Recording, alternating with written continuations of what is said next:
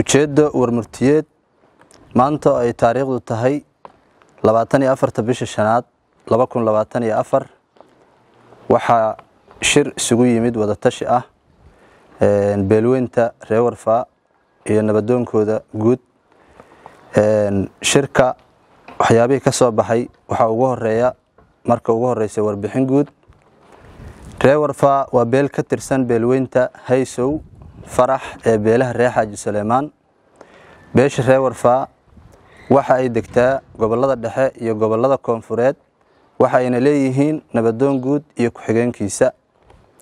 Beeshu waxay leedahay dhaqan soo jireen ah si la mid ah beelaha kale ee reer xaaji suleymaan sida aad la wada socotaan muddooyinkan waxaa jiray koox ama guruub is-urursaday oo reer warfaa ah kooxdaas oo sheegtay in ay wadaan midaynta reer warfaa laakiin beddelkeeda ka shaqaysay ficillo aanu aragno in ay ka soo horjeedaan danaha iyo maslaxada reer warfaa guud ahaan. Ficiladaas oo ay ka mid yihiin kow in qabiilka ay dhex keeneen habdhaqan khilaafsan wixii la yaqiinay islamarkaana ay dhagaha ka furaysteen talooyinkii uga imaanayey bulshaweynta reer warfaa lambar labo waxa ay abuureen ama fasaad kaasoo ah in habmaamulkii dhaqan ee qabiilka iyo wadatashigiisii ay ka dhigeen wax laga maamulo lagana jaangooyo baraha bulshada.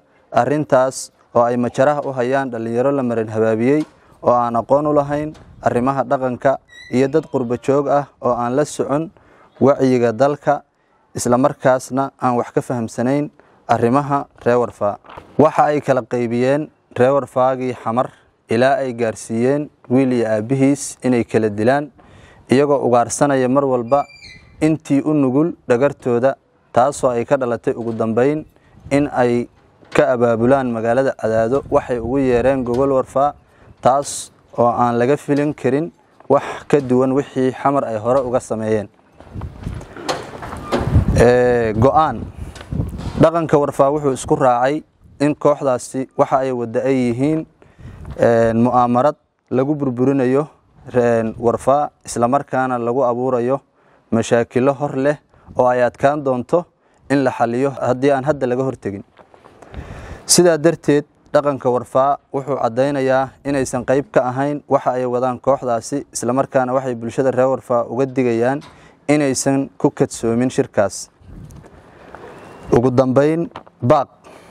Dhaqanka warfaa wuxuu ugu baaqayaa dhammaan dhaqanka iyo waxgaradka beelaha reer xaaji suleymaan meel kastoo ay joogaan inaysan ku kadsoomin mu'aamarada iyo been abuurka kooxdaasi ay cadaada ka wada waxaa loogu baaqayaa dhammaan bulshada reer warfaa meel kastoo ay joogaan inay isugu yimaadaan shir wada tashi ah oo dhexdooda ah oo ay hogaaminayaan dhaqanka iyo waxgaradka reer warfaa wabilaahi towfiiq bismi illaahi araxmaan iraxiim alxamdu lilah uma asalaatu wasalaamu calaa rasuulilah sala allahu calayhi wasalam amaa bacdu dhammaan kagalayaasha meeshaan ka soo qayb gala maanta ee reer warfaa qof walba masabkiisa iyo magaciisaan ku salaamaya. Asalaamu calaykum waraxmatullaahi wabarakaatu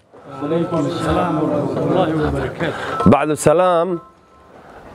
Warkii reer warfaa wuxuu ku qoraa war murtiyeedkii la akhriyey ayuu ku qoraa marka koowaad. Waxaan ku darayaa wax yar oo baaqa.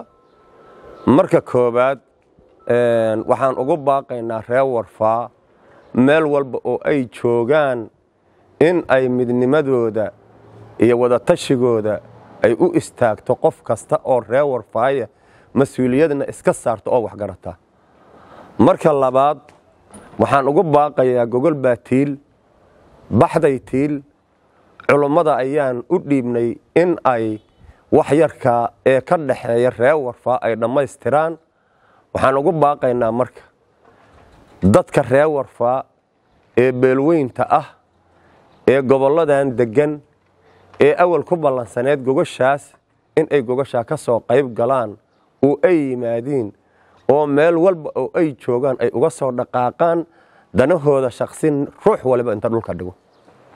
Marka labaad waxaan leenahay gogoshaas war saxaafadeedka laga sheegay ee la dhigay cadaado.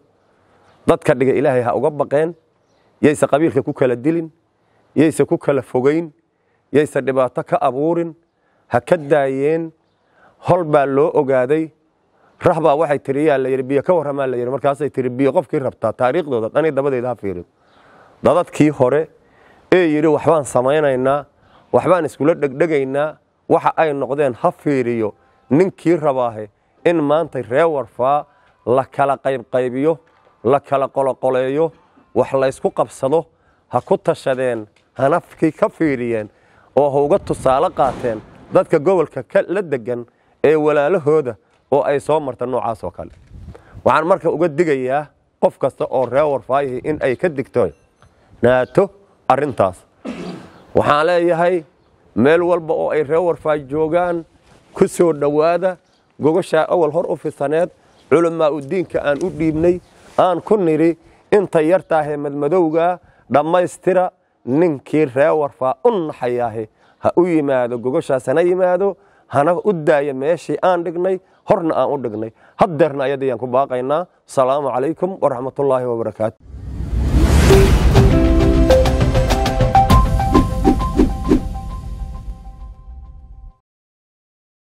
internet balas. Waa adeeg ay macaamiishu ka heli karaan internet faibar ah oo xawaarihiisu yahay labaatan megabytes ber second. Ayna la socdaan rasiifar ay ku jiraan in ka badan afar kun oo kanaal iyo boqolaal daqiiqado oo ah ku hadal bilaash ah